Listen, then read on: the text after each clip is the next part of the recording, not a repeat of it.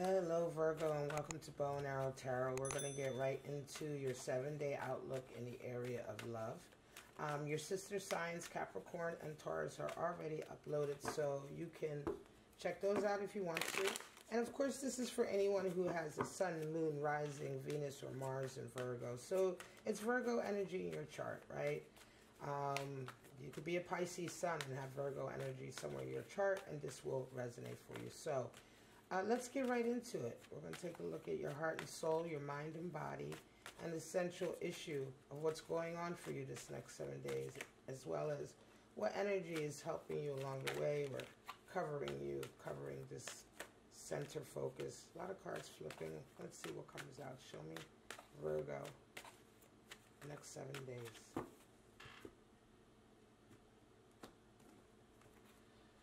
All right, Virgo, let's get into it. At the center, wow, Five of Cups right away, covered with Three of Pentacles. Body is eight, Six of Pentacles. Heart is the Emperor. Mind is Four of Wands. And in your soul, there is a tower moment happening in your area of love. Star energy at the bottom of the deck. Right, so getting back to what it is you desire in love. What is your dream for love, right? What is your ultimate goal or ideal uh, for what it is you want in love? Now, in interesting, we have some powerful cards here. Tower, we have uh, the 1111 Twin Flame Soulmate card, Four of Wands. So this indicates right away, I'm thinking about um, this is probably a new connection. Four of Wands is Venus and Aries. So it always feels like this is a new connection that's come together. Uh, it can be. Um, the realizing that you are soulmates, right? That beginning part of realizing that you're soulmates oftentimes is associated with energy of four of wands. So let's get into the center. Virgo, you have a five of cups covered with three of pentacles. So there is some regret and some pain over the past here right? So the next seven days, you are either going to be very much reminded of something that you went through in the past that was very, very painful for you emotionally with a lover, um, or you are just going to be ruminating about it for whatever reason, right? Um, it doesn't necessarily feel just yet. Uh, well, I have to get into the other cards, but right away, it doesn't necessarily feel like um, there is someone coming in from your past. This is just, uh, I want to say kind of almost like a, a reminder, right? You're getting some kind of reminder of something that you went through before with a lover that was painful. Three of Pentacles is covering you. So um, right now you're working though, right?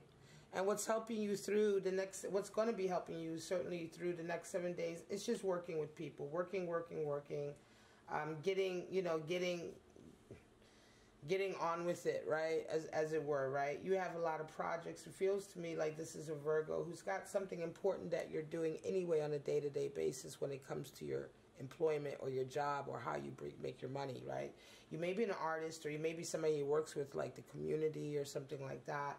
You may work with people in groups, but nevertheless, putting all of your energy into your work over the next seven days and interacting with people on that level where your interactions are good, I feel good interactions there, is going to help you with this difficult energy here, Five of Cups. Five of Cups is an internal power struggle that we have, you know. It's like inside we're going through it, right? We don't want to go through it, but we go through it. We're thinking about it. We're thinking about things we don't really want to think about. And it's it's an internal power struggle. Ultimately, you're the one who has to kind of bring yourself out of that and decide to be hopeful and look forward to those two upright cups. Now, in your mind and body, you have, right, in your mind, Four of Wands and body, you have Six of Pentacles. So something, you know, somebody's coming into you, it feels like to me, uh, recently that they are sparking feelings of love, perhaps, right? 1111 soulmate, Four Wands. They're sparking that. And it can be that, to me, Virgo, it almost feels like that this Five of Cups here is a fear, right, of, of the past rearing its ugly head again.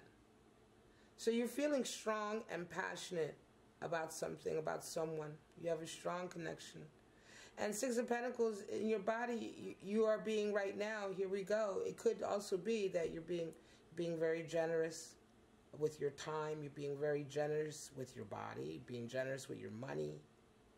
Right in this love connection, and yet you have this Five of Cups here that it's just it's heavy. It feels heavy. And again, you know, uh, yeah, it, it's it's it's the reminder.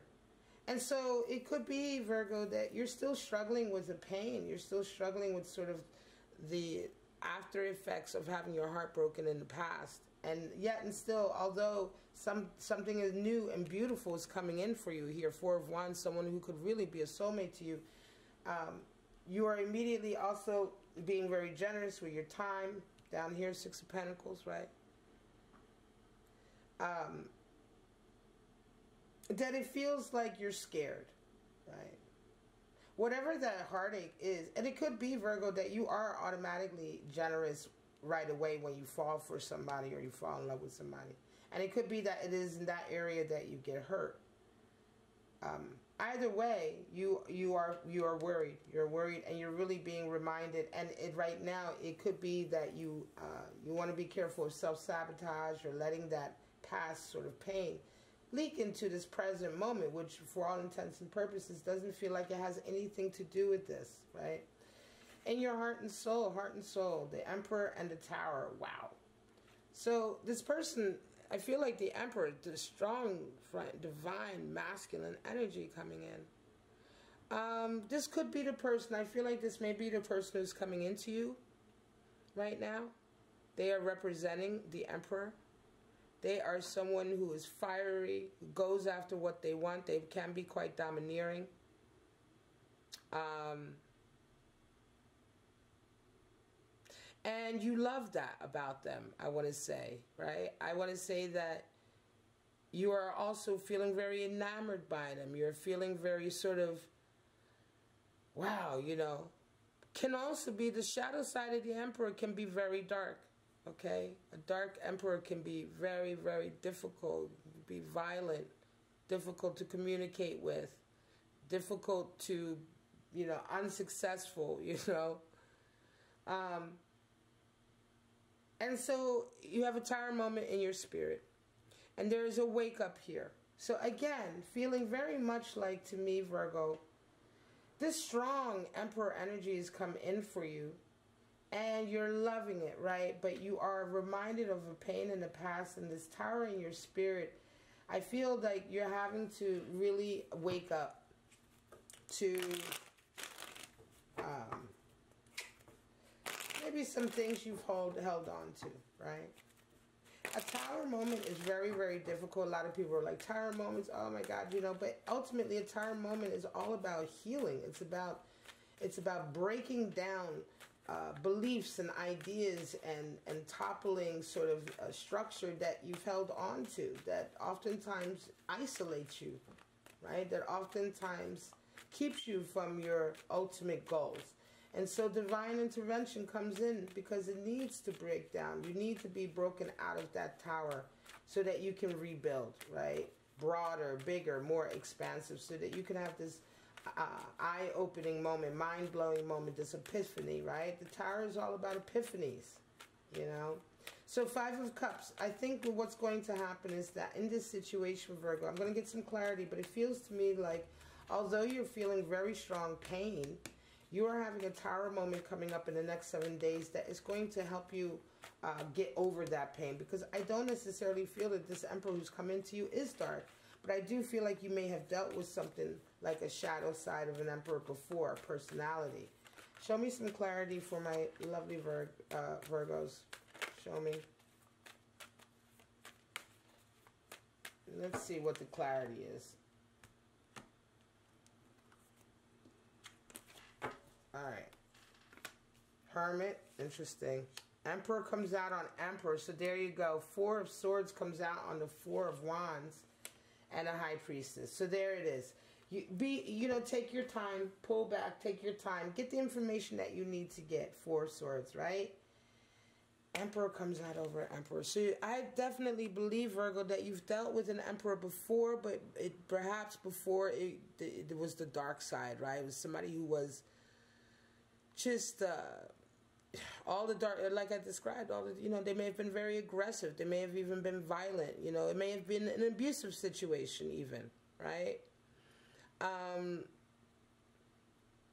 the person may have not, you know, they may have come on like having that strong, sort of powerful uh, energy and turned out to be nothing but an energy sucker and unable to accomplish anything on their own.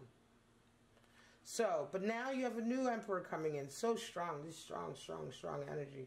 And also, physically right now, interesting hermit is there. So, yeah, you've gone through a period perhaps of not being with someone for quite some time. You may have really been on your own for a while, right? Virgo, and you're coming out of that period right now. Um, especially with that Six of Pentacles, it's interesting because Six of Pentacles is charity. It's taking care of people. You have that Three of Pentacles there too. It makes me feel like Virgo that you've also been physically very busy with helping community, helping people, whatever work it is that you do. It's probably some kind of work like that. It involves people. It involves helping. It involves sharing. It involves giving of yourself, right? Um, and this is very strong, powerful energy. And you're used to also, while you're doing that in that area, I think that you've also been used to, at the same time, being very much uh, in solitude and on your own when it came to the area of personal love and connection. And yet now a connection is coming in and you're worried, you're scared, because perhaps it could have even been that the very last connection was bad, right? Was the one that was toxic, and you've you've probably worked very hard to come out of it. The lesson, well, the lesson, or I want to say, the clarity here with Four of Swords and High Priestess is that for you, what you need to do, certainly over this this next period of time, is really pull back right? Pull back, you know, and think about things. Think about how you're going to move in this relationship. What moves will you make? How will you respond? Right? Four of Swords is truce. It's calling a truce. It's being strategic. It's meditating on your next move. Right? And I think here, when it comes to love, that's that's the wisest thing for you to do, right? Especially if you've been in a difficult situation before, you you you know you're still healing from that. But healing doesn't mean you forget. You you also gain wisdom when you heal from traumatic relationships, and that wisdom is supposed to be applied to the next relationship.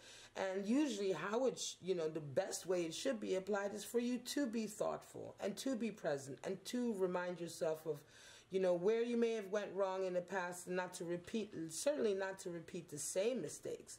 We always make mistakes, but we want to try to not make the same mistakes, right? Over and over. And so this is going to be crucial over this next seven day period for you, Virgo, in terms of really maintaining your power and your stability and not giving anything away that you've worked very hard for.